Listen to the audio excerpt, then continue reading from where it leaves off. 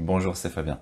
Dans cette vidéo, je partage avec vous différentes astuces pour se protéger euh, des ransomware. Alors un ransomware, on en entend beaucoup parler, c'est euh, le type de virus qui va donc chiffrer votre disque dur et vous demander une rançon en échange euh, du déchiffrement, de la clé de déchiffrement pour que vous puissiez récupérer vos données. Et même parfois, avant de chiffrer votre disque dur, il peut exporter l'ensemble de vos données vers un serveur externe que les pirates informatiques puissent les exploiter. Alors ici, je vous ai mis les principales techniques d'attaque euh, des ransomware.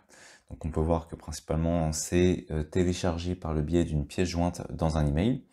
Également les attaques à distance sur les serveurs, c'est généralement pour les entreprises. On a également euh, les différents clouds qui sont mal configurés. Ça, ça concerne généralement également les entreprises. Et on peut voir qu'il existe encore cette petite partie qui est ici. Euh, c'est euh, les attaques par clé USB. Alors, pour faire simple, très souvent, ce qui se passait euh, auparavant, bon, je pensais pas que c'était autant répandu, près de 7% encore. ce qu'on trouvait auparavant dans les grandes entreprises, très souvent, on trouvait des clés USB par terre sur les parkings. c'était très très régulier. pourquoi? Eh bien simplement parce que les pirates déposaient des clés USB sur les parkings en se disant que les employés allaient récupérer la clé USB et tout simplement aller par curiosité vouloir savoir ce qu'il y avait sur la clé USB en pensant que quelqu'un l'avait perdu et donc il allait forcément l'utiliser directement dans l'ordinateur de l'entreprise. Il suffisait de le laisser le matin puisqu'il allait à l'entreprise, qu'est-ce qu'il allait faire? Emmener la clé USB et la tester sur euh, l'ordinateur de l'entreprise et ainsi injecter sans s'en rendre compte le virus sur le réseau de l'entreprise. Bon ça c'était une technique qui était pas mal utilisée mais visiblement c'est encore euh, d'actualité. Pourtant, euh, pas mal de politiques de sécurité, je pense, ont été mises en place dans les entreprises, mais visiblement, il faut encore être assez vigilant sur ce point. Donc voyons différents points pour se protéger euh, des ransomware. Un des premiers points, par exemple, si vous utilisez Google Chrome, ce que je vous invite à faire, c'est aller dans les paramètres. Dans les paramètres, vous allez sur confidentialité et sécurité, vous avez la sécurité et vous pouvez passer en protection renforcée. Par défaut, on est en standard, mais si vous le souhaitez, vous pouvez donc passer en mode renforcé déjà pour sécuriser davantage euh, votre navigateur. Vous avez également la possibilité de passer en navigation de fenêtres privées. Donc là, on va être sur le premier point par rapport au navigateur. Bien entendu, faites attention aux pièces jointes, faites attention, euh, comme j'ai dit, de ne pas ramasser le clé USB et faites très attention aux logiciels que vous installez. Utilisez uniquement des logiciels dans lesquels vous avez confiance. Ensuite, lorsque vous allez euh, avoir des fichiers Excel, des fichiers PowerPoint, des fichiers Word que vous ne connaissez pas forcément où il y a des macros, vous avez un message vous demandant d'activer les macros. Dans ce cas, il est peut-être intéressant d'utiliser ces fichiers euh, dans euh, des visionneuses, par exemple Google Drive ou Outlook également, la boîte en ligne permet d'avoir un visionnement en fait de ce que contient le fichier avant d'activer les macros. Évitez donc d'activer les macros dans les fichiers Excel que vous ne connaissez pas par exemple. Ensuite bien entendu on aura la mise à jour euh, du système d'exploitation et des différents logiciels que l'on utilise.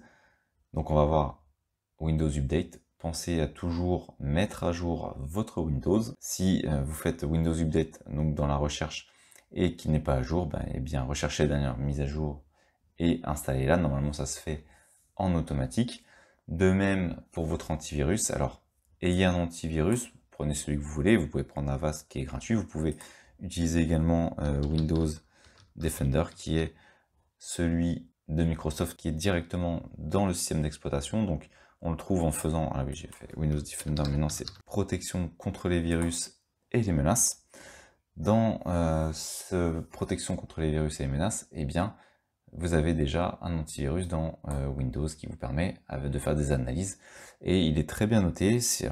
avant, on avait l'antivirus sous Windows XP qui était, on peut le dire, une blague.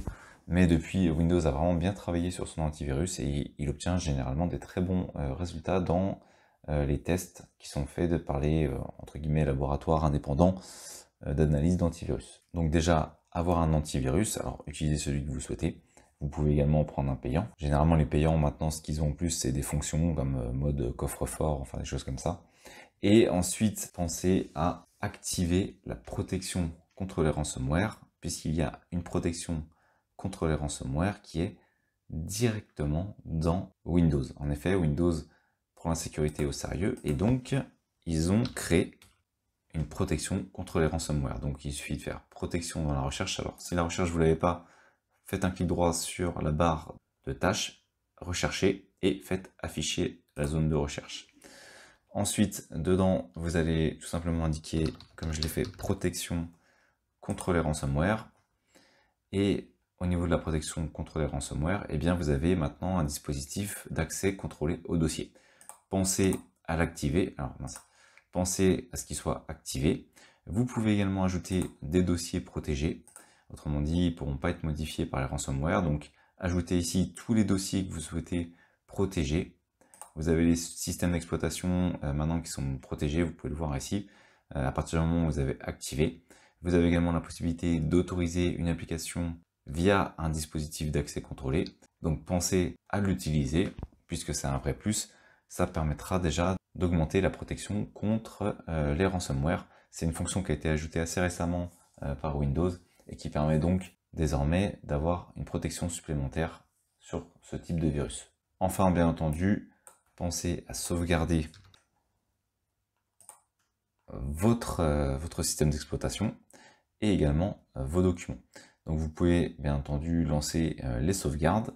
Vous pouvez par exemple utiliser la sauvegarde de Windows directement. Vous pouvez également utiliser un logiciel qui est spécialisé dans la sauvegarde. Vous pouvez utiliser les disques durs externes. Alors bien entendu, le disque dur ne doit pas être connecté à votre ordinateur, c'est-à-dire que vous prenez vos fichiers, vous les mettez sur le disque dur externe et ensuite vous le déconnectez parce que si jamais il y a un ransomware, il va également chiffrer les données sur le disque dur externe. Donc vous prenez ce que vous avez besoin, vous faites des sauvegardes régulières, vous pouvez euh, tourner au niveau des disques durs. Moi par exemple j'en ai trois, j'ai trois euh, Western Digital de 2 Tera, c'est celui-là. Et ainsi ça me permet de faire tourner euh, les sauvegardes et de toujours avoir des disques durs déconnectés de mon PC, ce qui, me permettra, en cas de problème, de pouvoir récupérer, peut-être pas tout, mais au moins une grande partie de mes informations, de mes données. Voilà ce que je voulais présenter, donc les bases pour se protéger contre les ransomware. Déjà, je pense qu'il faut au moins activer euh, la protection contre les ransomware qui est, qui est une nouvelle option qui a été mise par euh, Windows qui permet donc d'être plus vigilant sur ce point puisqu'il va lui-même surveiller les applications qui pourraient être malveillantes.